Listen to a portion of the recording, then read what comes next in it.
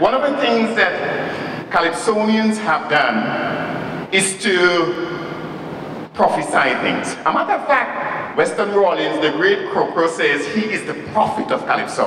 The fact of the matter is, long before Cro Cro prophesied anything, Sparrow had proven that he was the prophet because Sparrow had predicted, prophesied that Skylab would come down. And it did come down. And he did many years before. Now, and later on, actually, Crazy then have a song called In Time to Come. And in that song, he predicted that a black man would become president of America and a woman would become prime minister of his country. All of that is Calypsonians predicting things, you know? But there is a particular prediction I want to begin with. But you're wondering, where is he going? He's going to talk about sustainable development, he's talking about Calypso. Well, look at this. How does this work? I told you I'm not good. Yes, in 1980, Winsford Devine wrote a song called Progress. I am not quoting the whole song for you, but look carefully. Look very carefully. In, in a couple of lines he says, all rivers run dry. Soon the birds will fly, the mountains will be no longer high. But then he goes on to say, I see clarity deplored, right? Goes on later on to say, as we eat and drink, species at the brink of being extinct. And then he goes on to say, this, soil that wouldn't bear, right? Children making children to be a part of this growing mass. And I asked, how long will it last? And he finally asked, if this is progress, how long will it last? Now this is 1980. We are speaking 35 years later, and the chicken has come home to roost. It probably doesn't make sense to you right now, but think about what I just put there. Just think about it a little bit. You know? And you would get the picture that would emerge as I go. Now, honestly, I was scared like hell after the last speaker spoke because I was wondering, what am I to tell you? Because they have said everything. And therefore, to just reinforce what we said. So that is what I'm going to do. All right? Now, we're talking about the SIDS, but how many of you here understand where it came from? His Excellency is a distinguished lawyer, and so he knows that everything that we do should have a normative base. In other words, there is a body of rules or laws, right, that governs our behavior in relation to those things. And this is where, this is where it began. In Agenda 21, Chapter 17, and as you can see, G, right? G says that for us to deal with this business, we must deal with the sustainable development of islands. But look, look at the top, the marine environment. Now, um, something strike me here. And you would note for the rest of this lecture, I will not quote Chomsky, I will not quote Zizek, I will not quote Bernardi, I will not quote any of these people. Because I want to drive home a message to you today. And you probably are not going to agree with me. But before you can agree or disagree, you have to listen to me. This must be understood. Then we could argue and we could disagree. But look at this. It says marine environment. Now, so the concept of SID began there, okay? And the reason why they felt that the SIDS is something special. It is because we have, I think I better take down this mic. Okay, this is better. It is because we have these specific social, economic, and environmental um, vulnerabilities. And we have special challenges to planning and implementation. So these are the things that we face which are special as SIDS, right? In other words, this makes us different from the other countries in the world in a particular way. And therefore, we are put in a group, right? Now, we have some general commonalities with the SIDS. They are low-lying coastal countries. And um, this, this, this uh, common generality is something across the board for all the SIDS. This low-lying coastal country problem. But as you can read from the slide, um, they have all of these other things, external um, vulnerabilities and so on and so forth. A whole pile of, of, of, of problems, but it's common to all of them, right? Now, these 52 states remind me of something. I'm coming back again. It doesn't show up here. I do not know why. Um, but CHOP, it shows up here on my screen, but not there. The CHOP has a song called Just See Water and Sand. Have you ever heard that song? Just See Water and Sand. And I wonder if anybody has ever really listened to it, right? And every time I see this, that is what comes to me. All we have is just sea water and sand. He's not totally right. But that is the basis on which this concept is developed. Now you're wondering where I'm going. You would see. Give me some time. So now we have the general concept and the general commonalities. Oh, there it is. Remember Chalkie? Just sea water and sand. Right? Now, we have the general commonalities. We know what this is about, generally speaking. Now, it started with Agenda 21, but now it is here so what are the major stages in this process? Well, here they are. In 1994, you had the Barbados Plan of Action.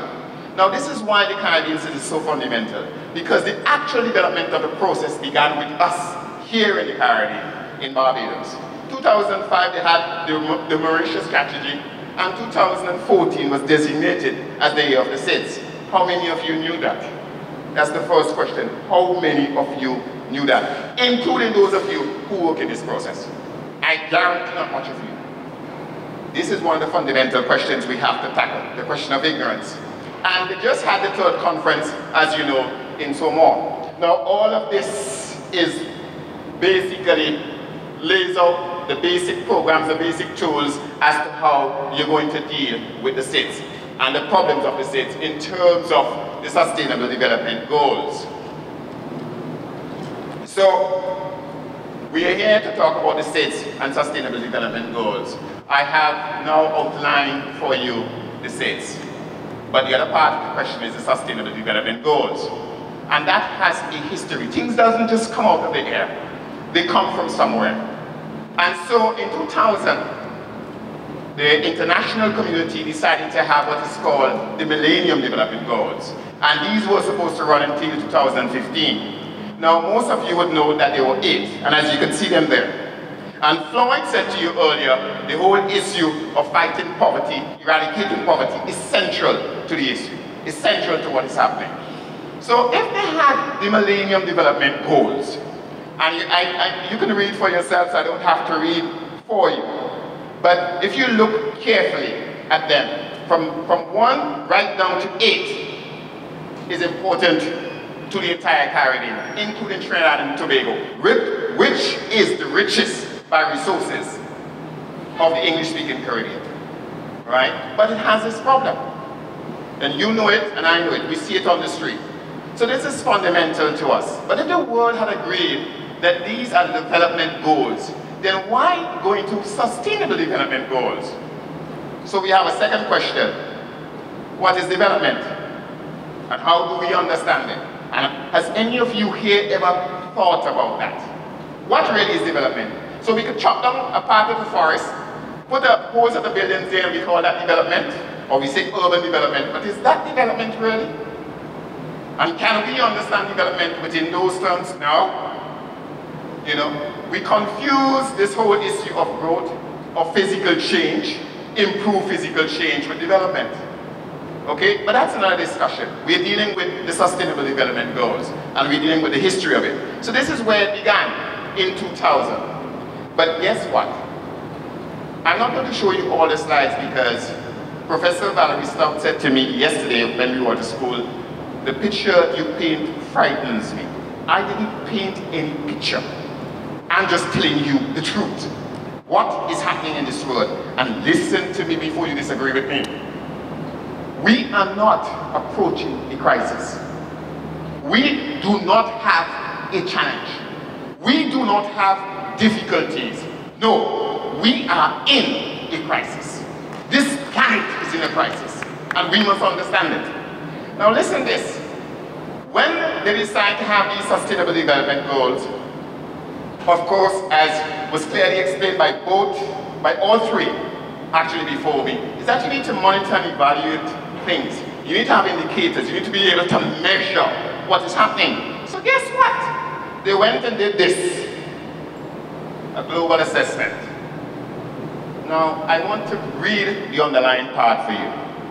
According to the Millennium Ecosystem Assessment, 15 out of 24 ecoservices examined are already being degraded or used unsustainably. 15. Look down a little bit more. These include capture fisheries, water supply. In addition, actions to intensify other ecosystem services, such as ecosystem service food production, often cause the degradation, the degradation of others. In other words, we're eating ourselves to death. We are driving ourselves to death. We are living it big, living our lives to death. This is what it says here. Not me saying that, not, not me from St. Vincent. This is the whole right world, United Nations, declaring that this is where we are now. Not just the states, the world. Because we have to understand, I cannot speak about the states and challenges of the state in a vacuum. I must explain it to you from the standpoint of the world because the states are in a world. And I must explain it to you from the standpoint of a planet because this is, this is a part of this planet. So this is where we are. This is where we are. And if, if you look down at the bottom, you see, as I said, as all three of them said, the indicators prove it. There's no question that this planet is in problem. But hey, we only now begin. The story is only now start. Look at what was found Look at that carefully. And if that doesn't frighten you, then what will? In 15 years from now, using the base year of 2000, we are going to need 50% more food, 45% more energy, and 30% more water. Where are you going to find it? Is this planet elastic and you just stretch it out and find these things? How are you going to handle that? This is serious business here.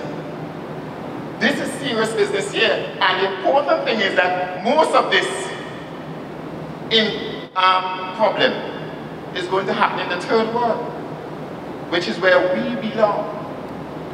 So this is the global picture we face. And this kind of is not elastic.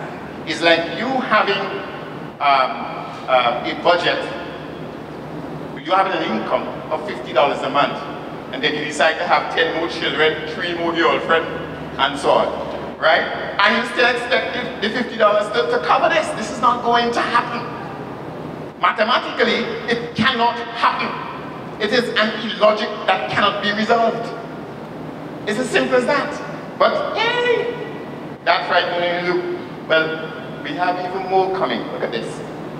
This is the statistics as regards the future of this world and our population. The first time I heard of the population of the world, I was a little boy, and they said it was 3 billion. Now I didn't understand what 3 billion meant. Now I understand it. I am still alive, and we are 7 billion. And by 2050, we're going to be 9 billion. Ha ha ha. So you see, we come back to the calypso and the gains, huh? Children making children to be a part of this growing mass. That is why I'm not going to quote Chomsky for you. I want you to understand that we already understand ourselves. We know it. The Calypsonian, the people's messenger, have told you long before Floyd and all of them with their biodiversity didn't come up. The Calypsonians knew this. This is fact. This is reality. This is how it is. Right? No, seriously speaking. Now, if you look carefully, we were only 1 billion in 1830. 100 years later, we're 2 billion. But look carefully. 40 years later, we're 3 billion. Do you understand what is happening here? Do you understand what is happening here? And let me make this clear. We have not discussed the issue of pollution and so on that will come from that. We only talk about the food, okay? the water, right? And the energy. We didn't talk about anything else. But you're going to need more landfill to all this garbage and so on. So many other things are going to happen. So we are facing a real serious question globally. And if you think that is a problem, then let us discuss it from this standpoint before we get to, to the states and to the, the Caribbean states. So the world realized that you cannot deal with this development business just so. Because this development business that we're discussing means that we're developing by eating ourselves to death, by destroying this planet, by paying too high a price, such a price that at the end of the day, the development that we're seeking is what will destroy us. This is what it means. So this is why they had to come up with this sustainable development. This is why. Because you couldn't just follow development now. You have to now deal with development that could go on and on and on. Or otherwise, as I say, doomsday will fall. But doomsday is pretty close because I am sure we're in a crisis. But so this is what sustainable development means. And I just want to read the underlying part, which addresses the environment, economic, and social dimensions. You know, you know that Devine said, I see charity deplored. You would note he said that. Equal rights, totally ignored. You would note he said that. Now, so it is these three dimensions, and sustainable development requires a correct and optimum interface, an interrelation between the economic and social consumptions and aspirations that we have, okay, and the protection of the environment. In other words, we have to understand that we cannot live and eat ourselves to death. We cannot consume this planet. Otherwise, there will be no place to live. This is the issue at heart. We cannot let our greed consume this planet. So, this is why they came up with it, and the process began when we decided that we need not just to deal with Millennium Development Goals, but Sustainable Development Goals. And it came out of the Rio Plus 20 process. As you know, things are called Rio because the Earth Summit took place in Rio in, in, in 1982. And the three Sustainable Development Conventions came out of there, basically. That's where everybody agreed, including Agenda 21. And at Rio Plus 20, which took place in Brazil, in the same city, they decided that the Sustainable Development Goals um, should be designed. So the real outcome is what gives the mandate. As I explained earlier, there must always be a normative base for people to act. And this is where it came from. And so, I don't know how many of you knew, before Floyd said it, that there are 17 Sustainable Development Goals. But for every 10 person I meet and ask about it, 11 of them don't know. So I, I would be amazed, you know, how many of you knew before Floyd said it this morning. But there are 17 of them in all, and there are 169 targets. Each goal has a set of targets. Now, we, I, I cannot spend the whole day discussing these things. And these are things that you can look up on the internet. You can easily find them, right? But there are 17 of them, and there are 169 targets. Now, let's look at the first eight, and you would see that they directly relate to people. And I want you, please, to look carefully here. At one, end poverty, two, end hunger, three, ensure healthy lifestyle, four, ensure inclusive and equitable quality education, five, achieve gender equality, and six, um, ensure availability and sustainable management of water, seven, ensure access to affordable, reliable, sustainable, and modern energy, and eight, promote sustainable, inclusive, and sustainable economic growth. Now, if you look carefully, they all came from what? The Millennium Development Goals. They just repeated them. So this clearly points out that the Sustainable Development Goals are built upon the Millennium Development Goal. But there's a reason why I mention all of that.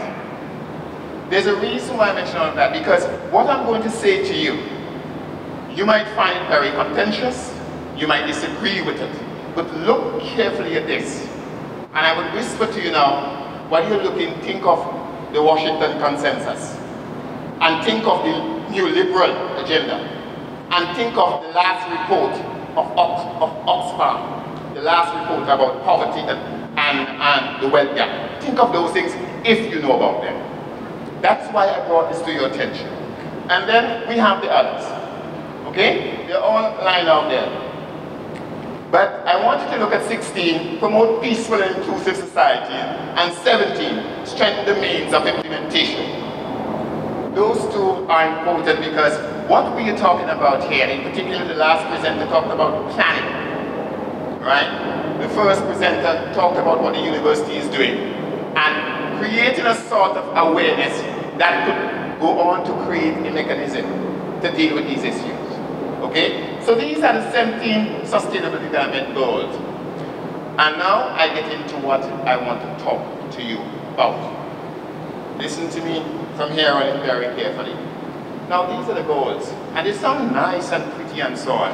Yesterday I asked some students, what do you want to be? A politician to fool the people? Everybody started to laugh. There's a reason I said that. Is it that these people are taking us for a ride? Is it that this can be done? Do we truly believe in, the, in this? Or is it somebody trying to somehow or the other, as we would say in the Caribbean, bamboozle us into believing this thing? I'll tell you why. Look here. Huh. This is, the, this is the first set of contradictions. And look carefully. You see, we have to understand what the challenge is first and foremost before we go on to discuss the challenge of the Caribbean the challenge our SIDS. I, I have different definitions. You can find a million different definitions of challenge because every def definition must be in a context. Every definition. Otherwise, you cannot apply it properly to what you're talking about. So let's take, for example, the word solution.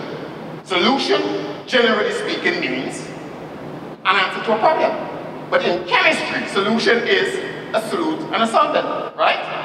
That is what it says. So, so one has got to understand clearly what one is talking about. And to do this, one must define what one is speaking about. So for me, when we talk about these challenges, we have a situation that calls for a fight in opposition to the existing or the trend. The existing is the crisis. That's what the world faces. The existing is the crisis. And the trend is even worse. I've already pointed it out. I showed it to you in graphic terms. So this is what we mean when we talk about the challenge. This is what we're talking about. But listen, there's so many contradictions that I wonder really and truly whether or not they're trying to bamboozle us. Because socially speaking, law is not made by the poor, and it's not made in the interest of the poor. This is a fact, and every person who studied law will tell you that the history of law, the history of state and law proves that. So that's the first thing, right? Have a serious, big problem here. Everybody knows that, for example, in the most powerful country in the world, and the most democratic country in the world, if you have no money, you cannot become president. And if you don't sell yourself on Wall Street, how are you going to become president? Could you tell me? This serious business, you know. Let's talk serious here. So socially, we know of this contradiction, but economically as well. He who pays the fiddler does what? Calls the tune. This is known. This is known. So let's come now to deal with one of the first things I said. I said that in considering this, you must remember the Oxfam report. Let me tell you what it says. The Oxfam report of two years ago said that 87 people in this world have the wealth of three and a half billion people. Not me say so. And Oxfam is, is British people and thing, eh? So you, you can't say the Caribbean boy saying that and you know he's saying. I just repeated what they said. But later on, two years later, Oxfam again reported and said that this had fallen from, from 87 to 62. 62 people have more wealth than three and a half billion people in this world. Can we continue this way? Seriously, can we continue this way? Ask yourself that. But environmentally as well. Every other existence is at the mercy of the self-centered humans. Yes. And as I said, I was afraid that I had nothing to say after everybody had spoken because Floyd said it. We have an anthropocentric approach to everything. He said it. Not me, Floyd said so. So if you want to argue, argue with Floyd, you argue with me. Okay? Argue with Floyd. But he said so. It's a fact. You understand? And therefore, the question must be asked. And it's not me who asked it. It's Devines who said so. If this is progress, how long will it last? And he said so 35, 36 years ago. How can we continue? Oh, well, let me put this in layman terms because you're not going to agree with me. I know that, but it's all right. So this is the role of the Pope. So this idea about eradicating poverty, somebody trying to take us on a ride. Somebody seriously trying to take us on a ride. Because this is the role of the Pope. Legitimate economic democracy. Now, I said, I'm not here to quote um, these bright people and so on and, and so on, because I'm from the Caribbean, and I believe, I truly believe in our brains and in our brilliance. So I've read, in terms of economics, Lloyd Bessant, Harvard Boost, and so on, right? But I want to tell you this, the best explanation of this economic democracy comes from a man called Ha-Joon Chang. Ha-Joon Chang is a Korean who teaches uh, development economics at Cambridge. He's a leading expert on the issue. And he says this, democracy today must be understood, must be understood as one dollar, one vote. So we come back to Obama and we come back to Billary, as they call it. Bill plus Hillary is Billary. That's Hillary Clinton we're talking about, right? One dollar, one vote. This is the reality. This is the reality. So that is what we're there for. We're there to be exploited and to be used. And we're there to provide markets. You buy, buy, buy, buy, buy. I don't have any problem with married people. I don't have any problem with ladies. You see me? Me and married. Because next thing you see your house full of all kind of things. You understand? Because ladies buy, buy, buy. I always say though, you know, I mean, uh, yeah, that was a joke. You, you took it right. Okay, and finally, we are the objects of manipulation in every way. And the American system and the American democracy proves that. So this is the role of the poor. But let us understand something. The sustainable development just doesn't deal with people, the social economic aspect, it deals with the environment. So let's look. What is the role of the environment? What really is? The, the environment is even worse off than poor people. Because the environment cannot vote. Poor, yeah, poor people can still pretend that they have a vote, you know what I mean? And they can go to the polls and elect whoever they want to elect. You know, the environment can't do that. Secondly, you know, it cannot purchase industrial product. You understand? So sometimes poor people have a value to the rich that we buy what they make. You understand? The environment don't buy that. Thirdly, is that the total mercy of all of us. You understand? We do what we want with it we are treated, we are treated, we do what we want with it. And finally, this is the most important. Don't forget this. This line. It suffers from the greed of the powerful and the desperation of the poor. That is fact. That is fact. Let me tell you something. Right now, there's a big battle going on in the Arctic. You understand? Up north. Russia won the oil, Canada won the oil, the United States won the oil. You understand? That is the environment suffering from the greed of the powerful. Have you ever flown over the Dominican Republic and Haiti? This is one island called Hispaniola. One side is brown, the other side is green. The brown side is Haiti. Do you know that Haiti is the poorest country in the Western Hemisphere? That is a clear example of the environment being at the mercy of the desperate. Let me tell you this, whether you know it for fact, as a fact, yes or no. At the beginning of the 19th century, just before the Haitian Revolution of 1804, Haiti had the most prosperous soils, the most productive soils in the entire Caribbean. Check and you would see. But today, it is basically a man-made desert in many parts. This is a clear example of the environment being at at the mercy of the desperate poor. So this is what we have. This is the reality that we face. Okay? But that's globally, so, so let's just put this all in layman terms so that we know what we're talking about. Because I don't like to pretend that I write anything new. I just want people to know that I am just here because I'm concerned, not because I'm right. Now, in real terms, the poor has numbers but no money. And the whole thing is tied up in that scenario. And society functions on these principles. This is fact. You understand? And as I said before, who pays the Fiddler College Road? I have made my business to check every single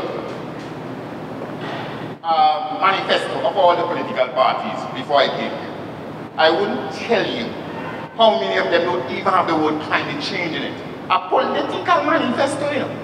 The party's program does not mention climate change. Now, in this day and age, seriously, I have read party political manifesto which says growth. And what they're going to drive is growth. Now, let me tell you this. I have seen children who I know, they are 16 taller than me, but they have the age of a five-year-old child. They have grown, but have they developed? Fundamental question, isn't it? Serious question. And I've seen party political manifesto, people who say they want to run the country. You understand? Where the word sustainable development does not appear. Where the word climate change does not appear. No. Where are we going with this? But this is the general picture. So, the question. This is the question. All development process today, now, as we speak, is governed by something else I mentioned. The Washington Consensus and the neoliberal approach to everything. Everything is about money and profit. And if you can't, that nobody is listening to you.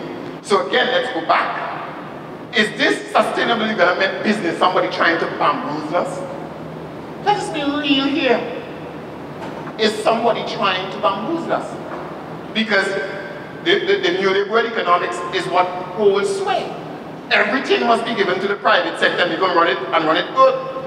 Let me tell you this, whether you know it or not. Greece is in crisis, has been in crisis, okay? And the rich, the rich in Greece has gotten richer. The rich in Greece has gotten richer in this crisis. This is the reality, and the statistic shows it. So where are we going? So this is the general picture. And now, these are the key challenges. So we have dealt with the, the global picture. Let us deal with the states before we come to the Caribbean states. So this is the general picture of the states. And these are the problems they face. Small size and vulnerability to climate change. And we know all of that. I think everybody who's following this business knows about it. However, I want to tell you this. That in real terms, in real terms, this is no dream. And this is no make-up story. This is real. This is very, very real. I am from St. Vincent in the Grenadines. On December 24th, Christmas Eve day, 2013, a storm hit St. Vincent, mashed up the whole place. When I was a small boy, we used to have a thing we used to say about hurricane. All the children knew. June never, never too soon, July stand by, and so on and so on. And then they say um, October all over. You know? So you know after October, the storm season was done. That was the end of it. Oh no way, Jose. Lick up St. Vincent. And, and a number of storms, we have one we call left-handed Lenny. Because it didn't come from the African coast as usual. You know? it came the other way around. Lick up St. Vincent again. You know? This is real. The government of St. Vincent and the Grenadines is spending millions of dollars now to build dikes you understand? To, to protect the coast. Build river um, um, stabilization things that when flood come, you know, and so on and so forth. There's a particular country in this Caribbean. I was there when the storm, when if, if flash flood hit. And in a matter of two hours, 350 people were dead. Dead. In a matter of two, three hours. This is real. And the flood came from no place. So when you see all of this here, this is not people making up stories. This is real, right? This is real. Now, there's some other challenges, right? These are the socio-economic challenges that we all face. Trinidad doesn't face much of this until oil starts to fall. When oil rises, then things nice. When oil starts to fall, then we're trouble. But I will come to that later when I'm talking about the Caribbean states. But what I want to tell you is this. Don't forget what I tell you now. In this Caribbean, we have made a mistake so many times. Jamaica first made it when we had the Federation. There is an assumption that you could build an island of prosperity in an ocean of desperation. That is a terrible assumption to me. It's a wrong assumption to me. Jamaica first tried it. When we had the Federation, that's how Bustamante won and became the first Prime Minister.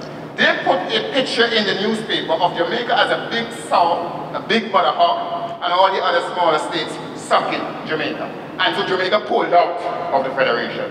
Eric then said, one from 10 leave north, I gone too. No, this, this is the history of the Caribbean Federation. Well, okay, everybody else, except probably me and Professor are, are, are, too young to understand what I'm talking about, but it's true. That's, those are the facts. So Jamaica went its way, and at that time, the Jamaican dollar was, the American dollar to the Jamaican dollar was 79 cents. So Jamaica was riding really high. You understand? Eric didn't bother. Eric said oil don't spoil, so, you know what I mean? Next thing, Jamaica collapsed. Oil, ting, ting, ting, next thing you hear, Trinidad collapsed. Um, what's his name? The, the, the, there's an economist who worked for the World Bank. No, for the, the, I did IMF for the World. He was from Grenada. And went no, from the IMF. When he saw what the IMF was doing to Trinidad and Tobago, he resigned as a Caribbean man. He could not accept. And he wrote that. He didn't just resign, he wrote it. And then the Bajans feel that they're more British than everybody else. And that they have the best thing. Next thing, they collapse. The evidence is right around us. You cannot build an island of prosperity in an ocean of desperation. It is impossible. You might have temporary successes, but when the setback hits you, you're in trouble. I remember as a small boy, when Guyana was the biggest thing, my mother used to cook one BG plantain and feed the whole house. You understand? Now, I mean, you cannot take a Guyanese down to St. Vincent, nobody ain't listening to you. What's wrong with you? You know what I mean? You cannot build an island of prosperity in an ocean of desperation. This is impossible. What does that mean? I, I will come to that. So, these are the environmental challenges that we face, all the states, regardless of St. Vincent, Grenada, or those in the Pacifics, and so on and so on. But let's just take a second here to look at this. I remember as a small boy, my, my uncle still has it, on a house right beach. And we used to walk all the way out. Bigger than this hall, from the house. And now, my uncle's house is here and there's a big wall in front of my uncle's house. And the sea just beats on that wall every time. You understand? And my uncle keep asking me, he's an 89 year old man, where did the beach go Richie now? What do I tell you, man? You understand? Where did the where did the beach go? What the hell is happening? You understand? And he's a a navigator by training. So he answered me where the beach went. This is real. This is real. But I want to remember, when I was a small boy, I actually told the students that yesterday, when I was a little boy, my grandfather had a farm in the country, and I used to go there as a little boy. There's a place I was always happy. But I remember as a small boy, I used to see these fireflies. We call them la belle in St. Vincent, which in French just means the beautiful you know?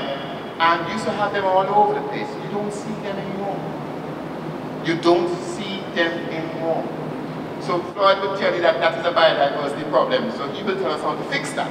But, but that's reality, you know? So these are all um, the environmental problems that we have.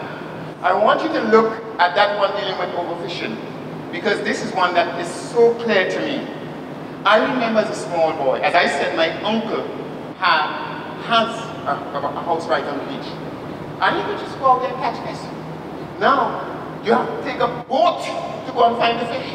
It's way out there, you know? And you could have gone at the coral reefs and so on with your little fish gun and shoot all kind of thing and hook and thing, thing, thing. You can't do that now. You cannot find it anymore. So this is what we face. This is the reality. I'm not making up a story. And I'm not telling you about a UN report. I'm telling you about my life in St. Vincent. I'm telling you about my life on a small island developing state.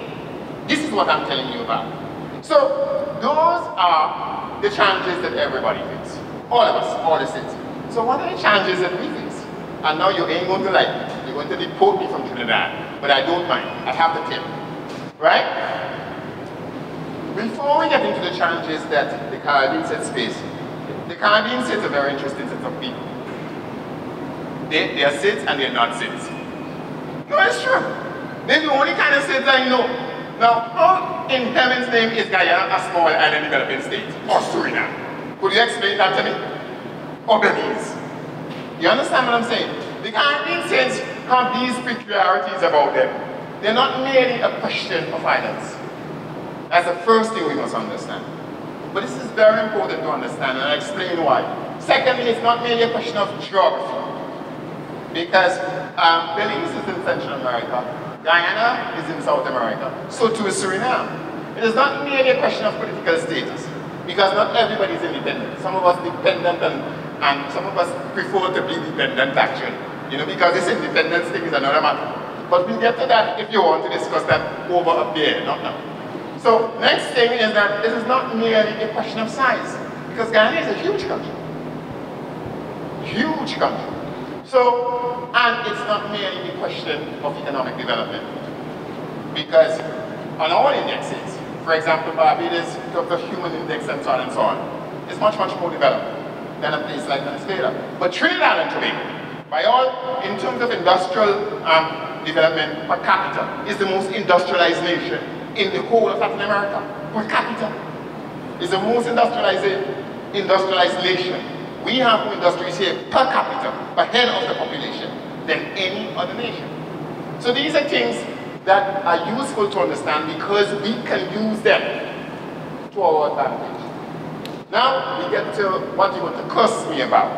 I wouldn't be much longer, but this is what you're here to hear. The special challenges of the Caribbean. Agree with me, don't agree with me, but I'm going to use Floyd and the other two presenters to prove everything I say here. Everything they have said. I'm going to use it to prove what I'm saying. Nobody else. Because I say I don't want to come here and, and, and, and, and quote, I don't know, you know, Tariq Ali or somebody like that. I come here because I believe in my own people. I come here not because I'm right. I come here because I'm concerned about this place. The first is that how the hell people going to work on, on, on, on, on SDGs if they don't know what they are. If they have never heard about it. If nobody ever told them about it. And every presenter here today mentioned that awareness question. Everyone. Every single one of them. Not me said so, they said so. And this therefore is a fundamental question that has that, that we must address. The ignorance need to be tackled. Because otherwise we would see sustainable development as only an issue where the president and prime minister should be involved. Now where in heaven's name could you develop a nation of people, much more a whole set of islands, with one man saying everything, regardless of how bright he is. The government might be the most important voice. It might be the best voice. It might be an excellent voice, but it cannot be the only voice. We must not make that mistake. It cannot be the only voice. Now, secondly, enabling the people. And again, and again, I don't have to say anything. They said it. Um, the last presenter made it clear that even when you go to get planning to do your thing, planning the whole up, they're supposed to do it in eight weeks. Eight years you still didn't get it. You understand? You, you, you have not created an enabling environment for the people to act. She said it, not me. No, I didn't say it. I did not say that. I'm just telling you what she said. And so therefore, we have got to understand that this is a particular problem. I'm not talking about any other city. I'm not talking about the people in the Pacific. I'm not talking about them. I'm talking about us. Because all the other challenges I pointed out earlier are about us and them. These ones are about us. Thirdly, little being done at the local level. Actually, again, you look at um, Professor Stout, you look at um, Floyd and so on, and this comes out clearly. Professor Stout actually go into the community and clean up and so on and so forth. Right? How many tons of this seaweed business they have they have taken, I do not know. But that is a job. They have done something, yes, but that is a job in terms of what we need to do. There's no question about this. If the sustainable development is what they say it is, and they begin with what? Eradicating poverty. No, poverty isn't about the trees or about goats or about sheep, it's about people, no? That is true. And if this is so, then um, we have to start there because that is where the people are. But nothing is being done there. Then policy is only political, politically serious about the SIDS. Oh, it's so nice. I went up to you and we signed thing, thing, thing. You know, you, you notice everybody showing off in the papers when the Prime Minister signed and so on and so on. Yeah, we signed on to the, to the Sustainable Development Goal. You know, we, we line with Canada and America and so on and so on. It's only politically serious because it brings you political mileage. That's it. That's the end of the story. You know, nothing else. Because if you're really serious about it, then you bring it to the people and you say, this is about you, and this is your part, and this is what you have to do. You understand? So it's only politically serious. It's nothing else. Right? And of course, no one has actually committed themselves. I told you, I read the manifestos. I didn't come here just like that. I read them. Of course, these were only agreed to in September. So they have an excuse. They could say, well, boy, ting, ting, ting. But let us, let us be clear about one thing. Let us not confuse this because I said, which is true, that this process began when? At Rio Plus 20. They had every time. You understand what I'm saying? To put it in. Because by the time we got to September last year, it was just a matter for them to come and say, yeah, we agree. Because everybody had already agreed. And it's not found. It is not found there. This is just the truth. I am not making up a story. And of course, who asks anybody anything? It was Professor Valerie Stout who said, we're not listening to the people. She said so. Don't blame me. As I say, I'm going to use them to prove these arguments because they said so, not me. We're not listening to the people. Policy is not designed around the people. And policy doesn't care about the people. And that's the reality. Now, okay, so, you know, I said to the students yesterday,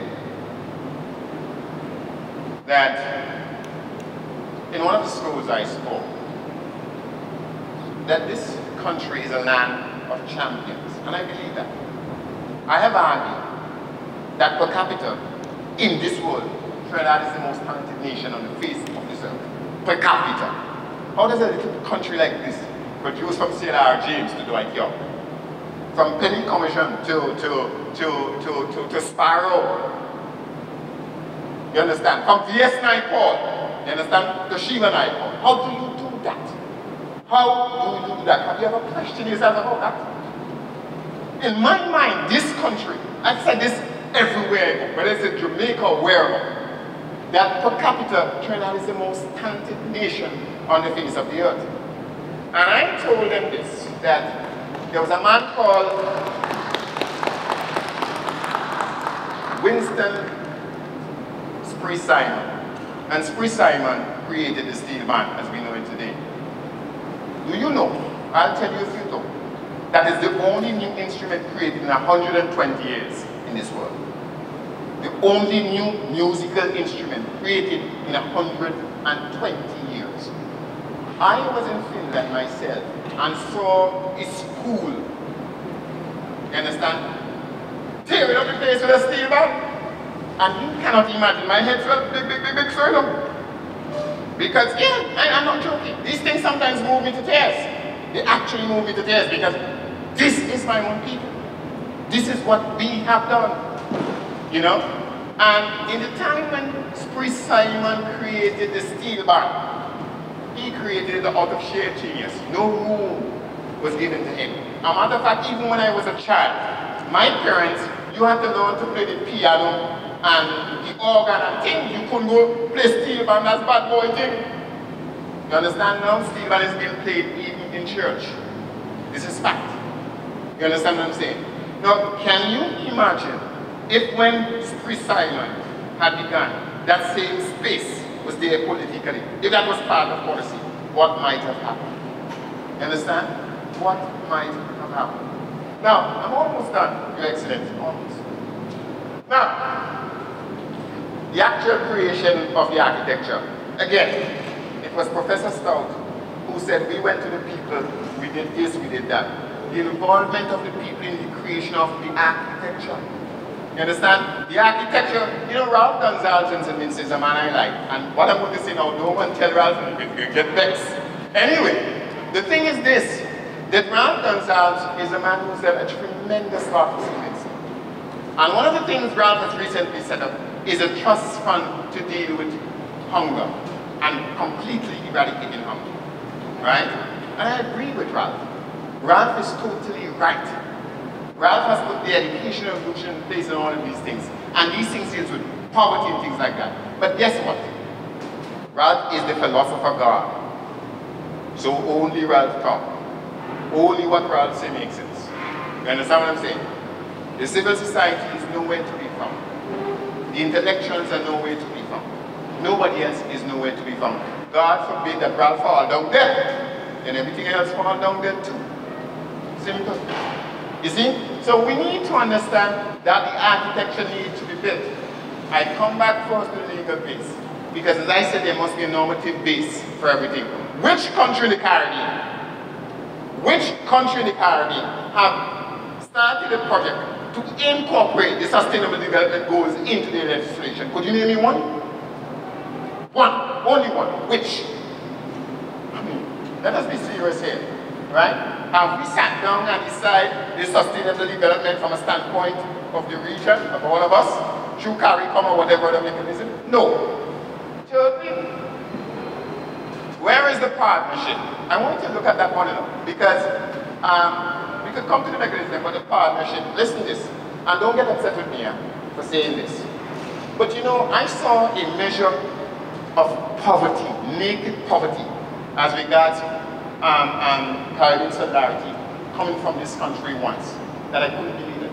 Naked poverty. I'm trained in law. I'm a lawyer by training as well. And I'm an international law specialist. In international law, we understand that when a country is in problem, in crisis, and you give them aid, they don't sign anything, you don't, you don't, you don't demand anything. You don't even check to see if they're going to use the aid exactly the way you give them. It's a gentleman's agreement. You understand? And in this country, some countries face a crisis. A crisis. They were destroyed. And the Prime Minister said, we have to get something from it before we give anything. I've never seen such nakedness before. I've never seen, and I come back to the things. I see charity deployed. You know, I have never, I couldn't imagine, not even the evils of this world do things like that. When a man is in crisis, he's dying, and this is your response, and that is supposed to be your neighbor, think of that for a moment. Think of that for a moment. We have never stepped so low in all the history of Caribbean um, unity and integration. Never. We haven't gone that low. Anyway, uh, we have no financial mechanisms to deal with this business. So all of this is about the architecture. We have to design an architecture. Going up to New York and signing thing and then going on platform and talking thing and so on, don't help anybody. You have to put the mechanism in place. Six, we must be concerned with the delivery of justice. As I said, I don't want to quote foreigners, I want to quote my own people. You understand? And somebody um, once said, but I will call exactly who it is. Peter Tosh said, everybody talking about peace. I ain't want no peace. What I want is equal rights and justice.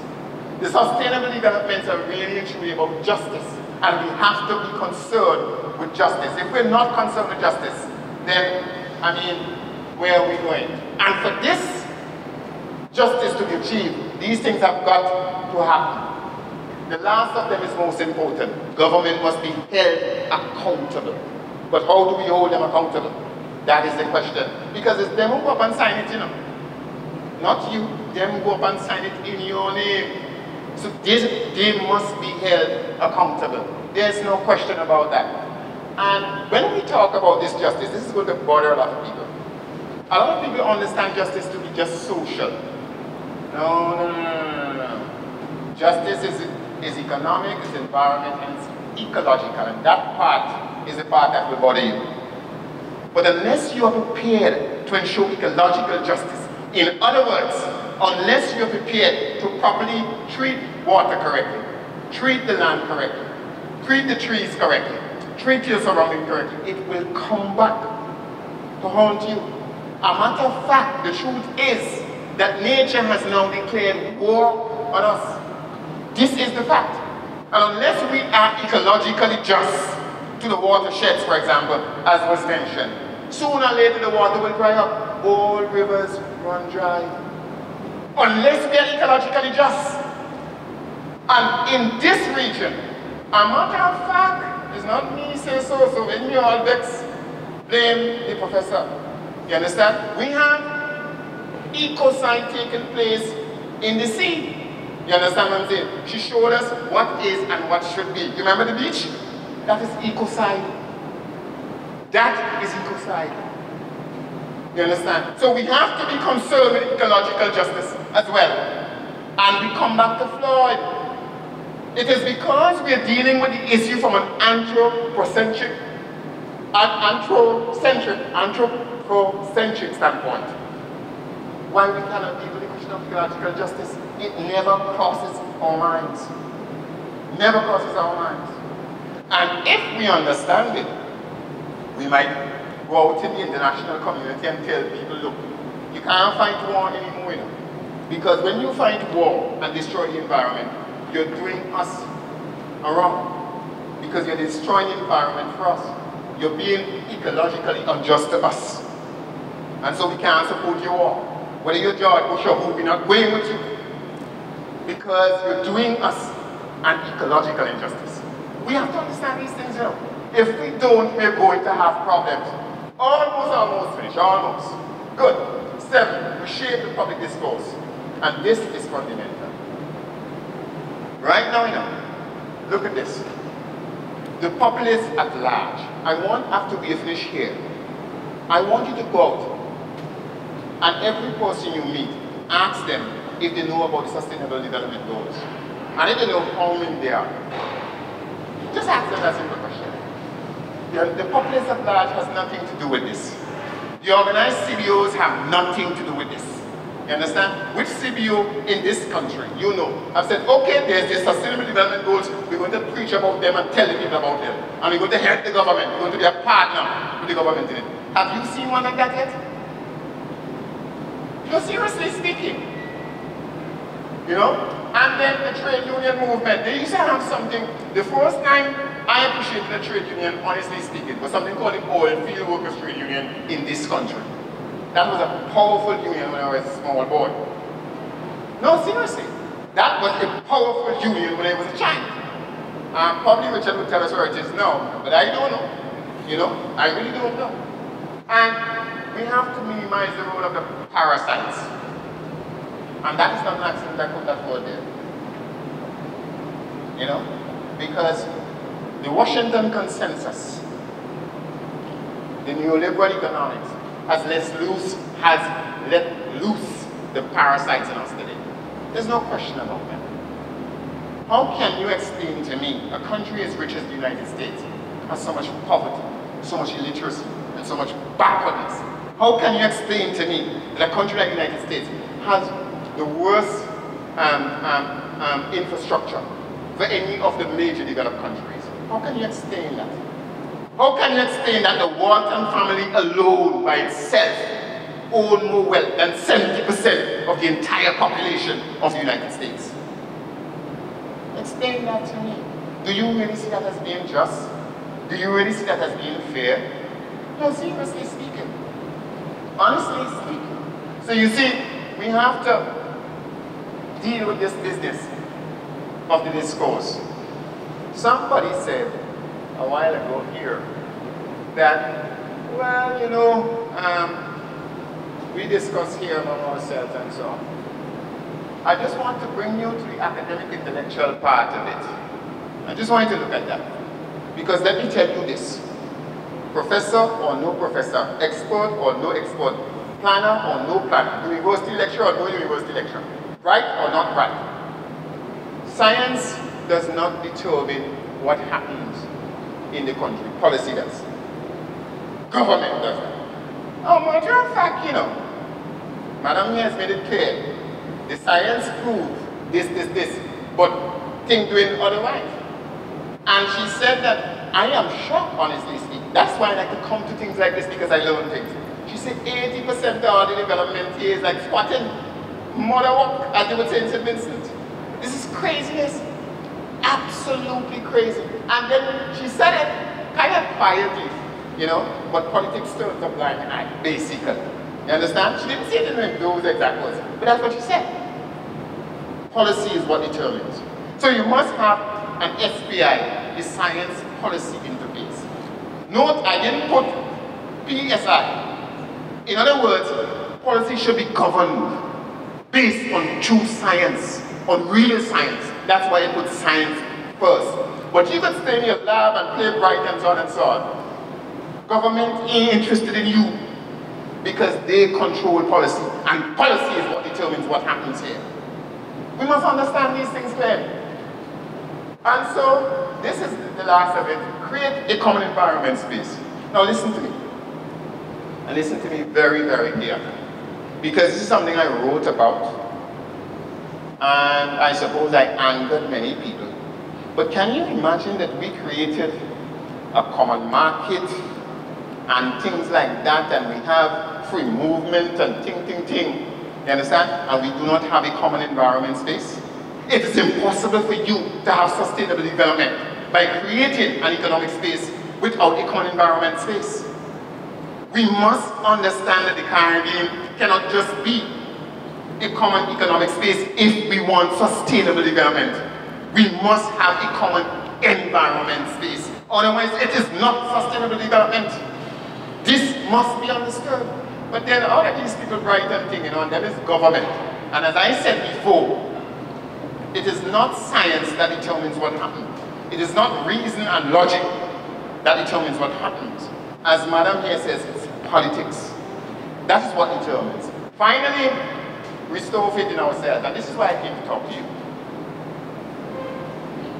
For too long, for too long, I have, I will tell you honestly, you know, I go down in tears quite a few times at the national conference when I saw the backwardness and foolishness and the people who come to represent us. I have actually cried, actually broken down in tears. This is not a joke. You know, I see Caribbean people come to these conferences and there are Caribbean people today, today, now as I speak, who represent the Caribbean at these conferences. And guess what? You see them twice. When we paid DSA the first time, and when we, I am not joking, I'm not saying this to make you laugh. Please, please, please, I'm not saying this to make you laugh. You see them when they get paid the first DSA, which is like the first or second day of the conference, and you see them the first day of the second week when we pay DSA there. And that is when you see them. You have some other people who come to these conferences and they come to the meeting. They come to the meeting. And they like a wallflower in the meeting. And so for two weeks, they sit down and not a single word. You sitting behind the flag of Trinidad and Tobago. You came here to represent your people and you're dumb. What the hell is going on? This is serious business. This is serious business. You know, I, I, I, I, I have broken down in tears when I, when I see these things. It, it, it hurts me so, so much. You cannot imagine. It hurts me so much. And sometimes I agree with the government that you all should go no place, stay home. No, I'm not joking, you know. This is not a joke. I do this job not because people pay me to do it, you know. I do this job because of conviction. I'm convinced about what I'm saying. I know what I'm saying. Let us understand something here. I was fortunate as a boy to have grown up around people who were older than me. My first four siblings are significantly older. My first brother is 15 years older than I. So you, you can understand. I, and they wanted to make sure that I did not go and make the mistakes that they made. Not that they did anything terrible. It's just that they felt they should have done better than they did. And wanted me to do better. And because of that, I was forced into many things. And I learned many things. And one thing I have never ever done, and will never ever do, and that's what people don't like about me. Uh, well, I mean, I use, I, I tell people all the time, I can understand it, but I will not change. I have never surrendered the sovereignty of my mind to anyone. Never. And will never do it. My mind is a place where I rule supreme. You could limit me here. You could tell me how to dress. You could tell me whatever. But if I want to be naked in my mind, on my bedroom, I could do that. No, you can't stop me. I have never surrendered the sovereignty of my mind to anybody. And when I see Caribbean people come, and you come to represent your people, and you sit down in a meeting for two weeks, and you say nothing, absolutely nothing, and then the vote is carried, and there's nothing in it for you for your own people, in whose name you came here to talk, in whose sacrifice you live, in their sacrifice you are living now, and you nothing. This is amazing, you know. I just want to say one other thing about this here because we need, and I hope the University of Trinidad and Tobago will want to try and address this business. But when you come to a conference like that, you have to understand the Caribbean, they usually want getting. Because the government never paid for, for anybody. You know what I mean? They think, they think. So, right? One person. And you have a series of meetings. There are three, three qualities you have to have to be effective there. Three. Many other things, but three basic qualities. The first is that you have to know the substance. Technically strong. Otherwise, when you open your mouth, you're going to talk stupidness. So you have to be technically strong. That's the first. The second is that you have to be able to talk. Because you have people who know the thing, you but then when they open their mouth, they sound stupid, because they can't. So you have to be able to talk. And the third is that you have to know the diplomacy. Because you're small, you're weak, they're powerful. You have to be able to walk the corridor. You understand what I'm saying? And get people to see your view. These three things are fundamental the Caribbean facing the world outside. But I'm done. I want to say this. The truth is this. This is what the truth really is. If you have a football team, listen to me carefully. Listen to me. Listen to me. If you have a football team, and that football team is not organized internally, if we go out there to play, you're going to get your deal cut. It is not about we trying to tackle them first. For us to tackle them properly, we have to tackle ourselves first. We have to be internally organized and get internal dynamism to be working so when we go out there, we are ready. If you go into a boxing match already saying, well, boy, you're going to beat the hell of me, you don't lose. And that is the fundamental problem of our Caribbean. Just two slides, I'm not going to talk about them. I'm just going to show you them, and this is going to disturb you. With every lecture I give, I make sure I end with reading materials. Now, you want to see the true Caribbean in me. I don't just deal with reading materials when I'm in Caribbean. I deal with something called listening materials.